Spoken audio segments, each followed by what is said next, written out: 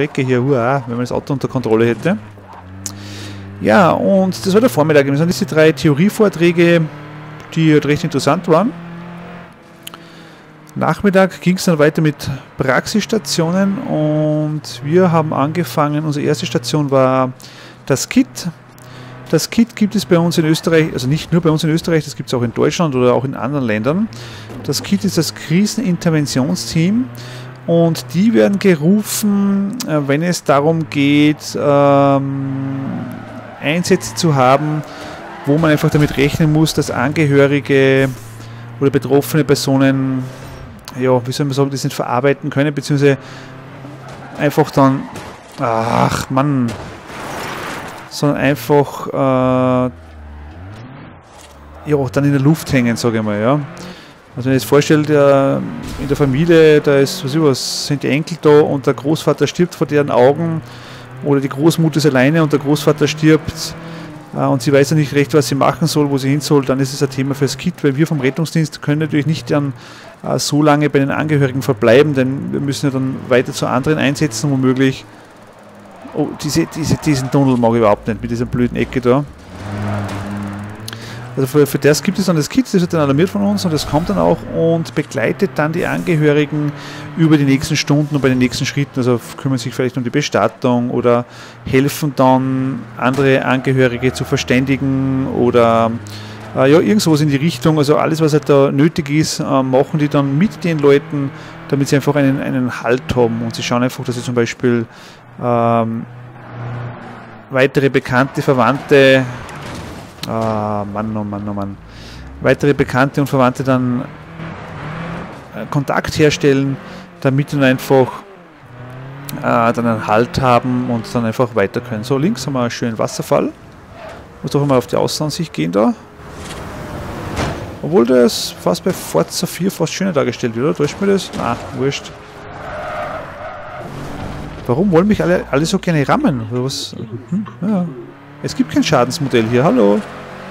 Und wenn das ein optischer Schaden und der ist, der sehr lächerlich, muss man eh sagen, leider. Nach links abbiegen.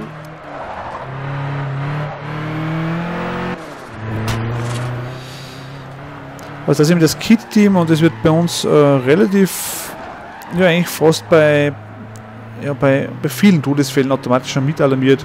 Sobald man das Rettungssanitäter sieht, hoppala, die könnten wohl Hilfe gebrauchen. Ich glaube, die schaffen das eben nicht so leicht alleine oder brauchen sie irgendwelche Assistenz.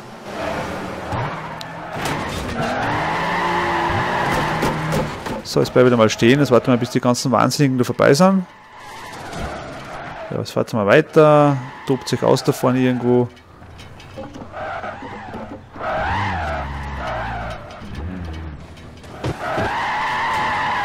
So, jetzt können wir weiterfahren. Sehr schön. Ähm, ja, das Kit-Team. Unsere zweite Station war dann, lass mal kurz überlegen. Ah ja, da ging es dann an die Sau. Wird geheißen Bühlau Drainage an der jungen Sau. Die Bühlau Drainage ist ja ein, ein, eine Notfallversorgung, die vom Notarzt durchgeführt wird.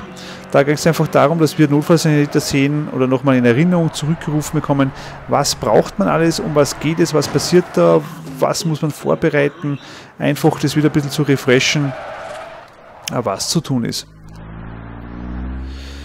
Bülow-Drainage, die wird verwendet, wenn zum Beispiel, also wenn die Lunge zusammenfällt. Das kann passieren aufgrund eines Unfalles, aufgrund eines Schlages, aufgrund äh, eventuell, dass eine Rippe zum Beispiel äh, sich in die Lunge bohrt, also da dann Luft aus. Oh, schöner Flug hier, schöner Flug hier von Black Arrow. Äh, wenn zum Beispiel eben die Luft dann austritt und die Luft dann zusammenfällt, weil die, die Lunge an sich, äh, die Lunge zusammenfällt, die Lunge an sich ist ja nur so, also eine, ja nicht, sagen wir nicht schlapprige, aber doch eine, eine nicht feste Konsistenz.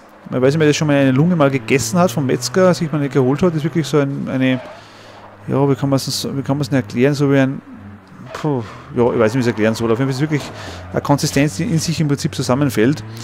Und die wird im Prinzip nur gehalten, indem zwischen Rippenfell und Lungenfell ein Vakuum besteht. Und dadurch wird die Lunge mehr oder weniger an dieses äh, Lungenfell gesaugt und wird, wenn man atmet, man atmet ja mit, auch mit dem Brustkorb oder mit dem Bauchraum, sprich, dann, dann breitet sich der Brustkorb aus, damit einfach die Lunge auch ausgedehnt und das ist im Prinzip wie ein Staubsauger, dann wird die Luft eingesaugt. Und wenn jetzt natürlich eine Rippe da, diesen, diesen äh, Pleuraspalt, den nennt man so, diesen luftleeren Raum, wenn der natürlich dann angestochen wird, so diese, diese, Achtung, hier diese Stromanlage, diese gibt es in Natura auch, ja, also das habe ich beim Foto von meinen Kollegen auch gesehen, die gibt es in Natura auch. Äh, und wenn es eben diese dann zusammenfällt, dann kann man das Ganze beheben, in, man beheben und Anführungszeichen, man kann eben akut einmal schauen, dass man von außen mit einer relativ großen, dicken Nadel hineinfährt, dann außen ein heimlich montiert, Ventil montiert, das heimlich Ventil, das hat einfach den Namen, weil der Herr Heimlich hat das erfunden. Das ist im Prinzip nichts anderes wie so ein wie Kunststoff, äh, Kunststoff, um, wie soll ich das, Plastik, Plastikschlauch, der aber ganz weich ist, der ist im Prinzip auch so in sich zusammenfällt wie, wie beim Saxophon das Blättchen, was, wo man ein, ein Geräusch macht. Wenn man durchbläst, dann, dann macht es ein Geräusch. Und genau so ist es, sowas ist es auch. In, einer, in eine Richtung kann Flüssigkeit durchfließen, in die andere Richtung äh, kann nichts durch. Und da, und da kann man eben diese Luft dann wegbekommen, bis auch die Flüssigkeit sich aufgrund einer Blutung vielleicht sammelt. Und das haben wir in der Natur gesehen, da ist ein, ein, ein, totes Schwein gelegen soll man einen neuen Zielort suchen, ein totes Schwein gelegen und da wurde ihm gezeigt, wo, wo eben dieser Arzt einen Schnitt macht.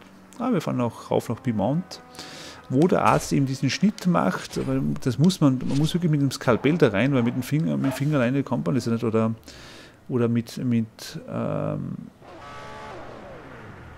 oder mit, äh, mit der Nadel kommt man nicht so durch. Da muss man wirklich äh, mit, mit dem Skalpell äh, die Haut aufschneiden, dann eben die Muskeln zwischen die Rippen aufschneiden und dann eben ähm, mit dieser Nadel, mit dieser, die ist wirklich relativ dick, mit diesem Schlauch dann eben eindringen, um dort eben das dann ähm, dafür zu sorgen, dass eben die Luft oder die Flüssigkeit eben raus kann. Das war sehr interessant, weil wir durften dann auch mal selber mit dem Finger, also wirklich mit Handschuhen natürlich, dann wirklich dann zwischen, also durch die Haut, zwischen den Rippen durchfühlen und waren wirklich alle recht überrascht, wie weit das man eigentlich rein muss. Also du musst wirklich fast den ganzen Zeigefinger reinbohren, dass du dort bist, wo du eigentlich hin musst. Das war wirklich imposant, mal das äh, zu erleben und, und zu sehen. Man muss auch sagen, diese, diese, diese Notarzttätigkeit einer Bühlau-Drainage habe ich in meiner 21-jährigen Karriere hier beim, äh, beim Rettungsdienst, beim Roten Kreuz erst einmal erlebt, muss ich auch sagen. Also das wurde einmal wirklich vor Ort gemacht und das war ein Motorradfahrer, der hat einen Verkehrsunfall und ist mit einem Auto kollidiert und da hat man wirklich gespürt, auch auf der Haut, das ist wie so ganz fein, als wenn lauter Luft unter der Haut wäre und das ist einfach aufgrund des Austretens von Luft von der Lunge. Und da entsteht dann einfach so, das fühlt sich wirklich auf, wenn man dieses, ihr kennt dieses, dieses, Papier, dieses Kunststoffpapier, diese die man so gerne also drücken kann, dieses, ähm, Schutz, diese Schutzfolie. Und äh, ja, mit dem, mit, dem, mit dem kann man es vergleichen und das ist nur ganz viel feiner und wenn man das spürt, dann ist halt wirklich höchste Eisenbahn wirklich die Lunge, die einfach irgendwas hat. So, was Auto nehmen wir denn jetzt? Das nehmen wir, das nehmen wir, das nehmen wir, das nehmen wir, jetzt fahren wir weiter hier mit Evora S Lotus, den nehmen wir. Genau.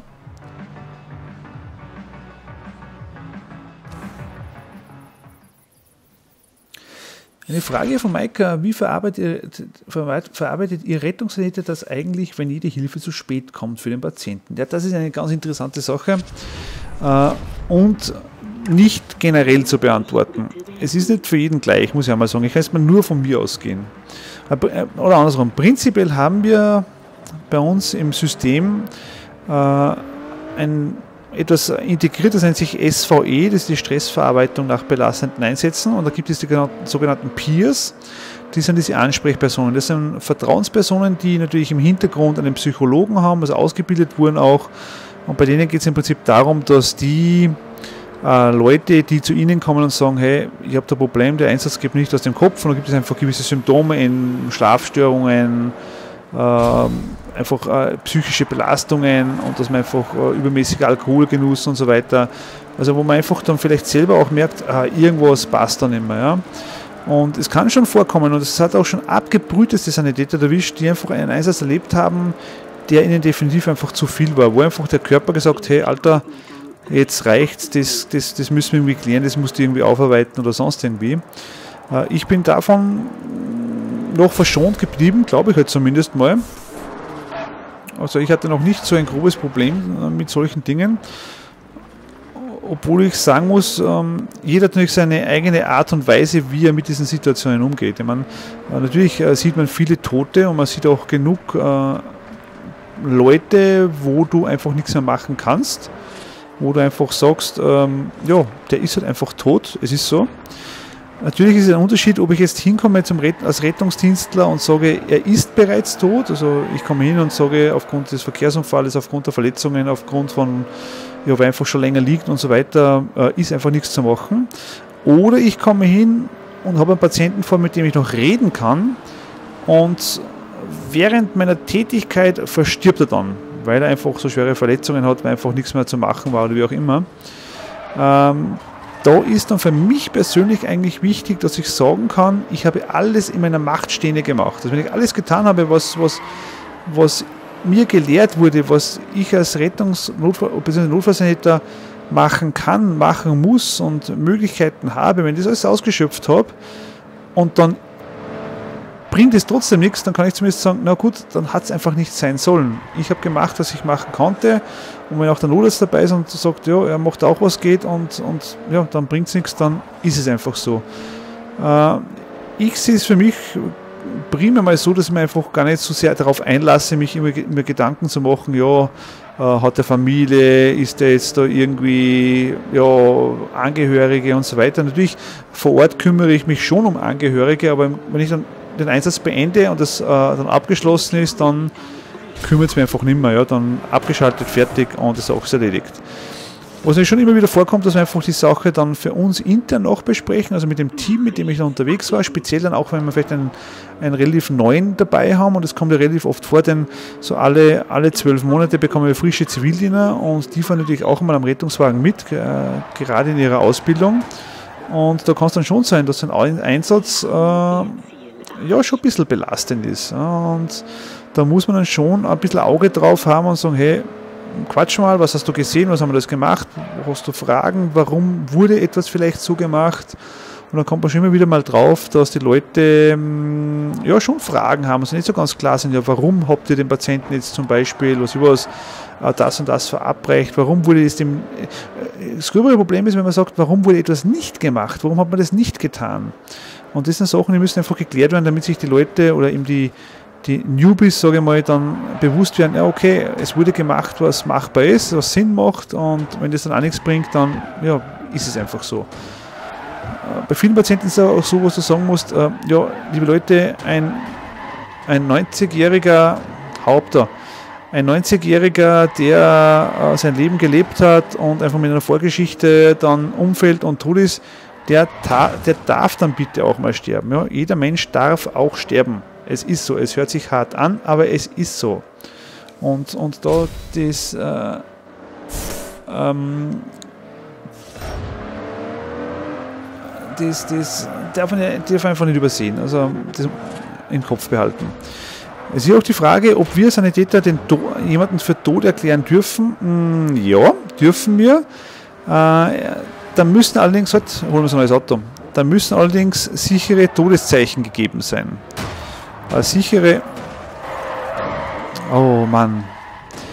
Als sichere. Also das Crashen macht nicht Spaß, eindeutig, oder? Kann das sein?